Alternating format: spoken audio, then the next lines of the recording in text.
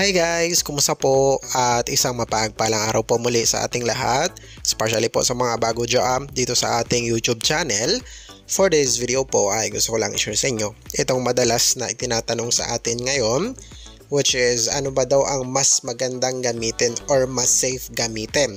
Itong si Maya ba or itong si Gcash?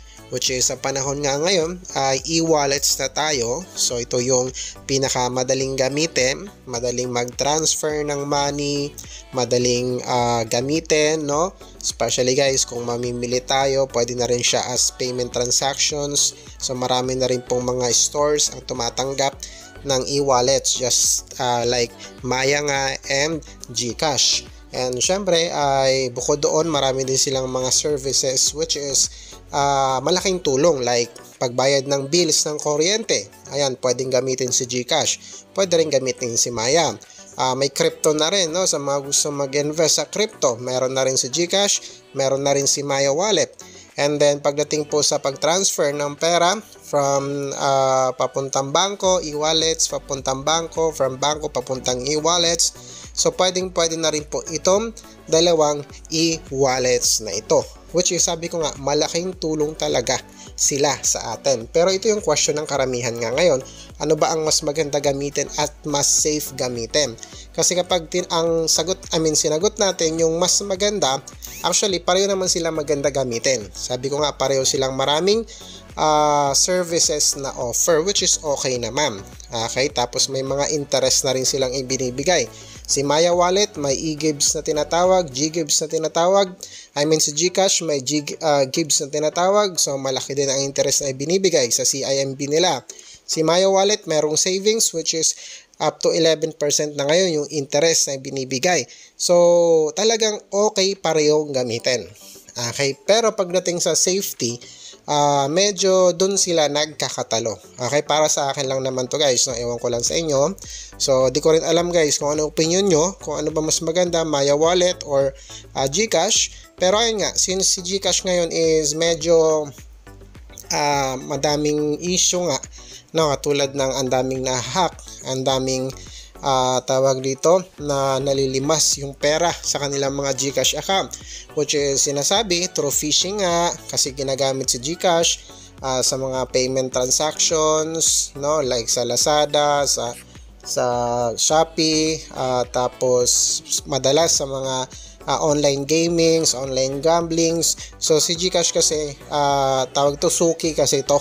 Okay? Madaling gamitin, ang daling i-connect tapos pagdating sa password, no? Si GCash, ayan, MPIN lang kailangan for digit numbers lang pwede na makalagin. Pwede mo na i-click lang yan, automatic bayad ka na kapag kinonect mo siya sa mga online merchants. So, napakadali, napaka-easy ni GCash gamitin which is uh, maybe isa sa mga naging rason din bakit tinarget po ito ng mga scammer.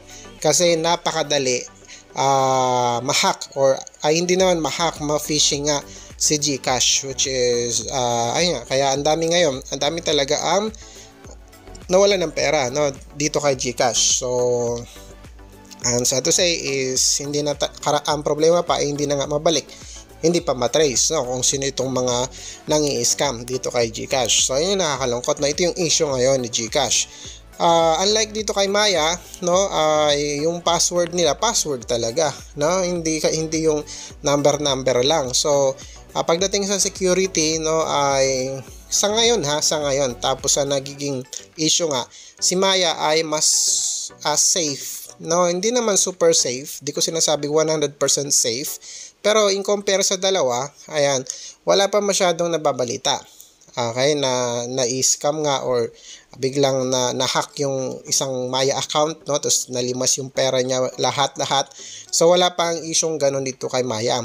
Hindi ko sinasabing wala. Siguro meron pero kokonti pa lang. Okay, meron man na-scam dito kay Maya, yung uh, yung mga na-scam na nag-send ng pera, no? Pero yung na-hack talaga, yung nilimas yung laman ng account mo, ay uh, wala pa siguro masyado no meron meron na siguro no pwede na mo kayo mag-comment sa comment section kung tingin niyo may alam kayo pero ay nga pagdating sa security and safety right now ay si GCash medyo alanganin no alanganin talaga kasi ayun nga bigla-bigla na lang may nalilimasan ng pera eh So, paano nangyayari yon Okay, tapos, ayun nga, walang Google Authenticator. So, sana malalagyan ng Google, Google Authenticator just like coins.ph, no? Pero, um, anyway, no, ay pinapaigting naman nila ang uh, security, no, dito sa Gcash nila. So, may mga double safe, double safe naman na sila nilalagay. So, okay na rin syempre kasi lesson learned to no ang dami kasing na nawalan ng pera kay GCash pero kay Maya so far no ay lumalaban no lumalaban and pagdating sa services sabi ko nga eh halos kayang-kaya niya naman tapatan talaga si GCash pagdating sa services. So halos pareho naman talaga maganda. Sa safety lang talaga yung nagkakatalo at medyo nakakatakot. Alright? So, sana lang no, si GCash ay magtuloy-tuloy nga itong improvement na ginagawa nila pagdating sa security ng mga account natin para ay nga bumalik yung tiwala talaga 100% dito sa kay GCash which is ang dami ngang ino-offer services na ginagawa ni GCash.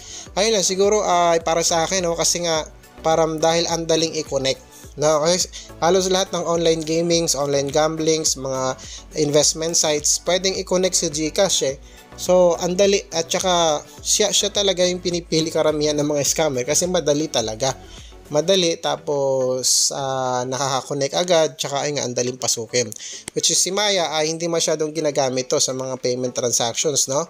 Uh, I mean sa mga online gamings hindi masya, hindi siya masyadong nagagamit. Siguro because of feeling ko ah, dahil, dito sa password. Password pa kasi ito eh password type. Parang old style na password ito kasi makabago kasi MPIN MPIN na lang eh pero yun lang problema nagiging madali po siyang buksan etong si uh, tawag dito Gcash.